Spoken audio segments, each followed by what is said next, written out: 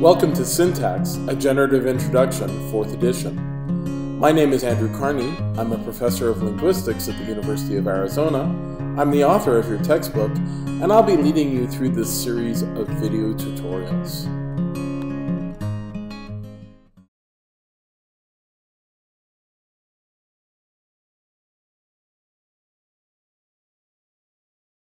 Throughout this book, we've been talking about locality constraints. The idea that certain things must be near one another in order for the sentence to be licensed or, or judged grammatical. So for example, we talked about with theta roles, that the theta role has to be assigned to an item within the phrase uh, that from the that is headed by the theta role uh, assigner. So, for example, a theme theta role must be assigned within the verb phrase that a, assigned that has the verb that takes the theme theta role. Another example is condition A of the binding theory, which says that um, anaphors must be within the same clause as their, um, as their binder. Uh, yet another example we've talked about is feature checking, where we've motivated movement by claiming that things move to positions where they're near their, their, uh, their checkers. So for example, uh, the a nominative DP is going to move into the specifier of a finite TP because that's the place it can check its nominative case. All of this research on locality stems from a very influential dissertation that was written in the late 1960s by the linguist Haj Ross. He discovered a phenomenon called islands. And islands are effectively um, restrictions on how far you can do WH movement. Let's look at some examples. So let's start off with these two structures, which mean essentially the same thing. Sydney claimed that she read the book, and Sydney made the claim that she read the book. Those are effectively um, uh, saying exactly the same thing.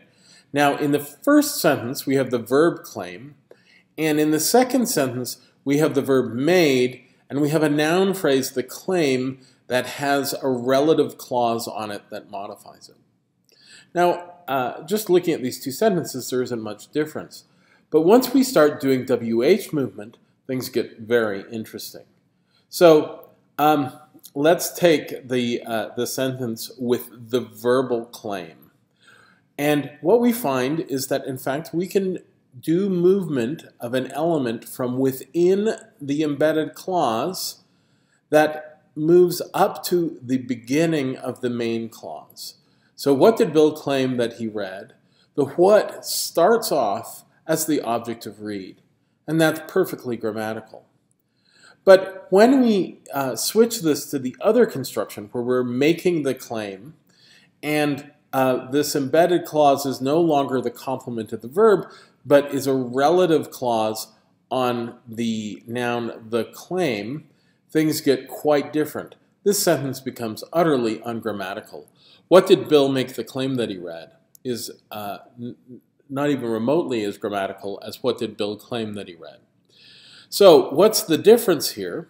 The difference seems to be that you can do WH movement out of a, a clause when it is the complement of a verb, but you can't do WH movement out of a clause when it is the complement of a noun. This is our first instance of a uh, what we call an island. The island here is the DP. So DPs are structures you can't get out of by doing WH movement. The, the name island comes from the idea that when you're on an island, you're surrounded by water and you can't get off of them or out of them. So WH movement can't get out of an island. So DPs are like a tropical island. Um, no WH movement can get outside of this structure. You can do WH movement within the structure, but not out of the structure. By contrast, in this first sentence, there's this CP is not embedded inside of a DP, so you can do WH movement, and that's grammatical. That's a DP island. Um, we actually can state this as a, as a constraint on the grammar. We uh, it's sometimes called the complex DP constraint or sometimes the complex NP constraint, which effectively says if you have um, WH movement and it crosses over a DP bracket, so this movement has crossed over a DP bracket, then the sentence is going to be ungrammatical. There are some tricky cases, but that's the basic generalization. Another example, this one a little more complicated, comes from what we call WH islands. WH islands are the situations where you have two WH phrases and you're trying to move one around another WH element. So let's take the sentence, I wonder um, what John bought with the $20 bill. Here we have a case where the what element is moved from an object position of bought. It's moved into the specifier of that embedded CP. So here we have an embedded clause and what moves, uh, gets its case and its theta role down here and it moves the spec of this CP. That is grammatical. Notice that it's also grammatical to move um, a, um, a WH word that's associated with this adjunct position, which would probably be an, uh, an adverb phrase. So um, we can replace with the $20 bill with how, and when we do that, we can do movement. In this case, we're moving um, the how all the way to the beginning of the main clause. So this one is moving to the specifier of the embedded clause, and this one is moving to the specifier of the main clause. So these two movements are both legitimate movements. Um, they're legitimate on their own. But the minute you try to do both of these movements, so move the what into the specifier of the embedded clause, and move the how into the specifier of the main clause, the sentence becomes completely ungrammatical. How do you wonder what John bought is ungrammatical um, with these two movements where you've moved the what from the object position and the how from uh, this adjunct position. I will say, um, for those of you who are saying that's not ungrammatical, um, it's not ungrammatical when the how is modifying wonder. So uh, if you ask the question, how do you wonder what John bought, you might answer something like, with my brain, or um, uh, because I'm always curious, or something like that, uh, where the how is modifying the wonder. But the relevant interpretation uh, that's ungrammatical is the one where how modifies by, not wonder. So this asterisk refers to that interpretation where the how is, in, is modifying by.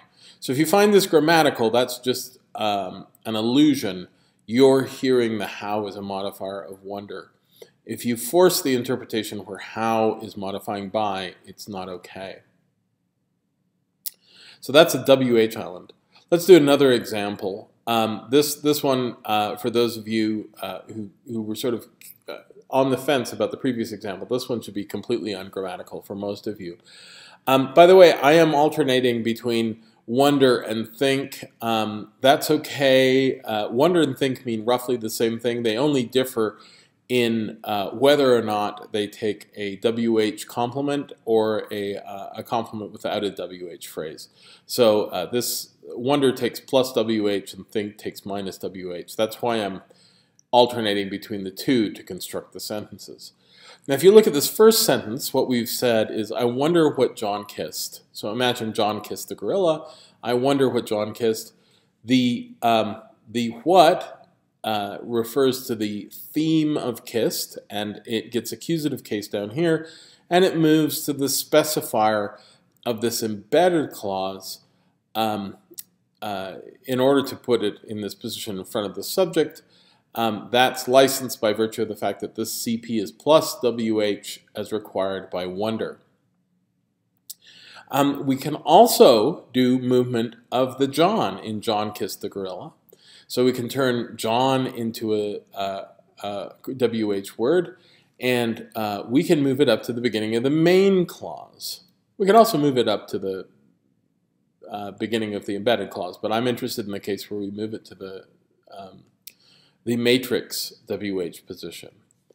Um, here's the did, and that's occupying the C position, so we know it's moving all the way up here. Um, so both of these movements are licit. So moving the object into the specifier of the embedded CP is fine. Missing the, moving the subject into the specifier of the main clause um, CP is fine. But once again, what we find is that if you try to do both of these movements, what you have, what results in, what it results in is an ungrammatical sentence. So if we move the what word into the embedded clause, like the first sentence, and we move the who word into the um, CP of the higher clause, as in the second sentence, the sen what you get is, who do you wonder what kissed? Which is a very strange uh, sentence indeed. Uh, what these this example and the previous slide's example showed you was that you cannot do WH movement out of a CP that has another WH element in its specifier. So what's critically at stake here is our WH word that's in the specifier of this embedded clause seems to be blocking the movement of this other WH element up into the higher clause. This is a WH island. It's a WH island because the island is created by this embedded WH element. The constraint we have that explains WH islands is called the WH island constraint. And what it says in words is a CP with the WH phrase in it specifier is an island for the movement of other WH phrases. So in the more formal terms, here we have a CP that has a WH element in its specifier, and it blocks movement of other WH elements around it. That's a WH island. WH islands are going to be important for us. They're the ones we're going to have the easiest time explaining. So we're going to come back to WH islands again. Now, there are many other kinds of islands that Ross identified. He identified one called the subject condition. And the subject condition says that if you have a CP in the subject position of a clause, you can't do WH movement out of that. So take the sentence that the police would arrest several rioters was a certainty. The CP that the police would arrest several rioters sits in the subject position of the clause was a certainty. You cannot do WH movement out of that CP that's in subject position. So you can't say, who was that the police would arrest was a certainty. It's just terrible. That's where we've done uh, movement of who out of that position. This is stated as the subject condition. It's uh, restated just here in terms of abstract categories and brackets. If you have a CP that's in the specifier of a TP, then it follows that uh, there's no movement out of that position. Another constraint is the coordinate structure constraint. Now, this one gets really quite complicated, but the intuition of it is that you can't move um, either, uh, you can't WH move either conjunct of a conjoined phrase, and you can't move out of either conjunct in a conjoined phrase. So take the sentence, I liked Mary and John. You can't question John. You can't say, who did you like Mary and? Nor can you question Mary, who did you like and John? So that's completely ungrammatical uh, because we're trying to question a uh, one of the conjuncts and not the other. You can, of course, um, uh, do WH uh, movement of both elements, right? Uh, so you can WH move um, the whole conjunction. You also can't extract out of a conjunction. So here we have two conjoined verb phrases um, ate some popcorn and drank some soda. I ate some popcorn and drank some soda. I cannot um, do WH movement out of one, but not the other um, conjunct. So I can't say, what did you eat some popcorn and drink? Where drink, uh, the what is referring back to some soda. And similarly, I can't extract out uh, a WH word associated with some popcorn. What did you eat and drink some soda? It's, uh, these are ungrammatical as well. Now the WH island constraint uh, is quite complicated when you write it out in terms of variable categories. Uh, it looks like this, and, and that's a bit of a horror show. Uh, and whenever you see a constraint like this, you have to ask yourself, something's gone wrong, because we should be able to state this in a more succinct way. But for our purposes, this will get at the basic facts. Uh, WH movement can't um, take either of the conjuncts or can't extract from within either of the conjuncts. So those are islands. Islands are elements that you cannot do WH movement out of.